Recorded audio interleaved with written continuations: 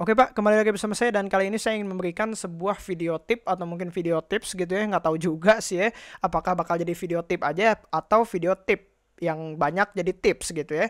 Dan uh, intinya di video kali ini saya ingin memberikan cara bagaimana kalian uh, mempermudah dalam editing gitu. Jadi biar mempermudah dan mempercepat juga, jadi biar tambah produktif gitu.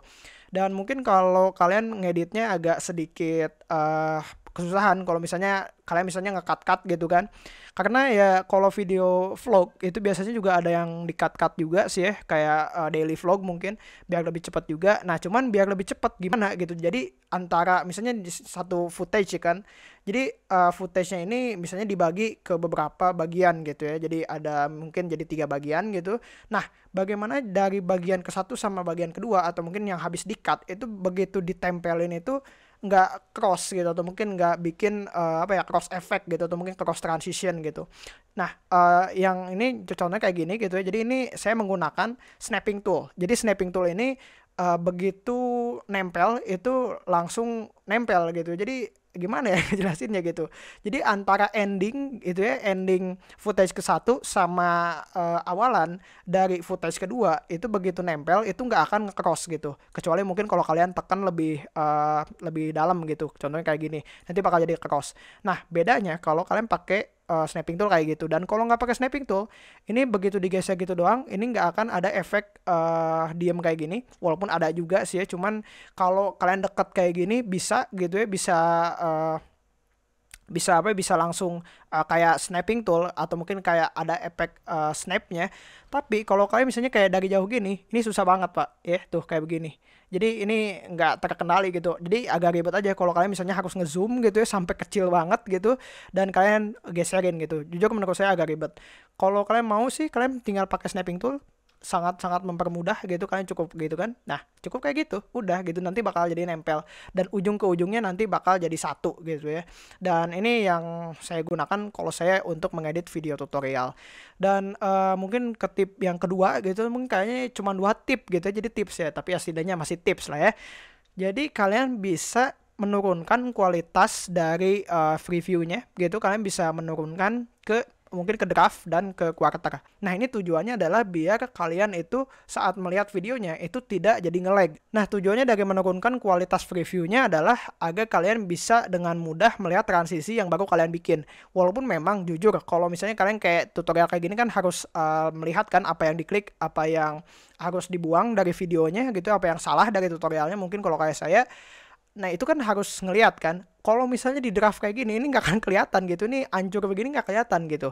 Jadi kalian bisa uh, ganti ke preview untuk kalian misalnya mau ngeliat gitu ya. Misalnya ngeliat uh, sesuatu yang penting, yang harus penting dilihat. Kalau transisi, kayak misalnya transisi uh, kayak kayak saya di sini gitu ya kayak di sini nih untuk transisi dari uh, video endingnya ke uh, apa kartu untuk YouTube ya misalnya kayak gitu bye bye Nah, itu kan nggak kelihatan kan, mungkin karena berat juga, mungkin ya karena sambil rekam. Bye -bye. Nah, contohnya kayak gitu, mungkin uh, biar bisa dilihat gitu. Nah, kalau kalian pilih yang best terus full, itu kadang-kadang nggak muncul transisinya, jadi kalian nggak bisa melihat gitu ya, apakah transisinya udah bagus atau belum.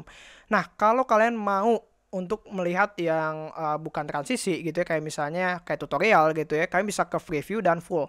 Jangan kalian pakai yang best terus full, karena entah kenapa gitu ya, untuk yang best ini full itu nge-lag gitu. Padahal sama yang preview terus full itu menurut saya sih kayaknya nggak jauh-jauh banget sih ya untuk kualitasnya gitu. Cuman ya ya nggak ini aja sih nggak nggak lancar aja untuk yang uh, best gitu. Tapi untuk yang preview nggak ada masalah sama sekali jujur. Walaupun uh, laptop saya nggak bagus-bagus amat sih ya masih mid end ya kalau untuk sekarang gitu.